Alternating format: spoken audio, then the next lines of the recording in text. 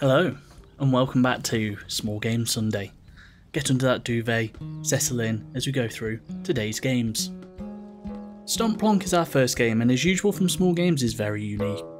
You take the perspective of an intrepid bard exploring a world with this really distinctive art style. The entire style gives the sense of the best doodles, the sketches in the margins spilling forth off the page to create a delicious world to explore. Coming down to the docks, you're finding fishermen honking along to some unwritten song that fills any populated area of the world. It's a joy. Getting to the large city and being surrounded by crowds that you have to push through evokes walking down a busy path in a city, all accompanied by a particular beat of the town. This brings us to the musical aspect to the game. The game has this synchronicity that underpins any inhabited place. This background melody to the universe, a beat that everything steps to. You can play along with your lute, strumming to the music of the world.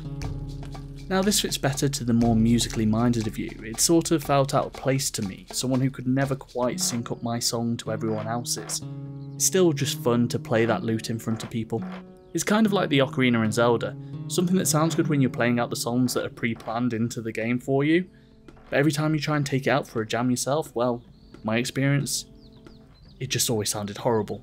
But there is a solution to the game, a quest. The king wants you to gather his missing knights and bring them back by playing a tune that's scrawled onto his wall to them.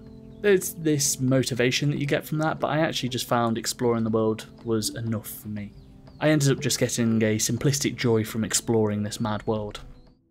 Beheaded is a well crafted little platformer that explores the ability of chucking your head at things. You play as Jack, a long dead thief, mysteriously resurrected. One of the obvious benefits of death and undeath in this manner is no longer being super dependent on your body to keep you alive. It's a puzzle platformer with tricky jumping sections and this sort of exacting feel that allows you to have a half a decent amount of control in the air. You move forward by traversing each of the rooms to get to the door at the end. If you die in any of these levels, you have a series of buttons that you can try and press in a certain order to hold on to life, a system that I quite like that doesn't outstay its welcome here in this small game. It represents Jack desperately clinging to his skeletal corpse and to try and persist and move forward, and provides an alternative to the live system that is found in many platforming games. I don't think it has legs to be expanded out as it is, but it is a system that you could be playful with and actually develop further for a bigger game. Death in games is something we should consistently be rethinking and coming up with new ideas of how to progress through it. Just look at Dark Souls. The rooms quickly evolve away from just left to right platforming though, and put some puzzles in the way to make you really use your head. Literally. As you progress through the game, you get a series of different upgrades like a fire head and a heavy head and a ghost head.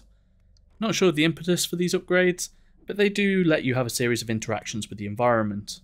But the puzzles themselves I would critique as saying they are a little more straightforward solutions. Once you figured out one, it reuses that consistently without really remixing it.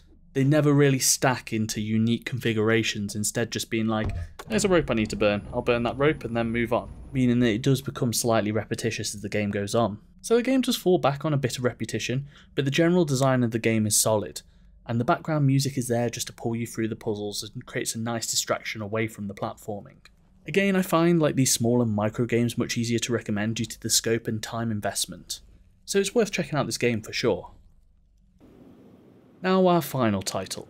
I have talked about the reasons behind doing these videos in the past, but I remember when I covered Resonance of the Ocean, I found what became this core imperative that I have used as motivation throughout, finding impeccable intelligent design that whittled any excess away, leaving the perfect parts of the craft behind.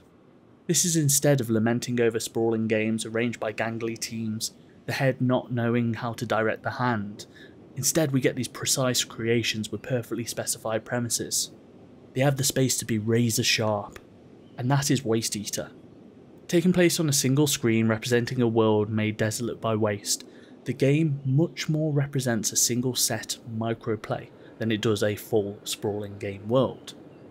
The screen glows this radioactive orange that's reminiscent of a world consumed by waste. Waste implied to be left by the people of the world, enraptured with megalomaniacal self destructive tendencies, letting everything go to shit. The solution?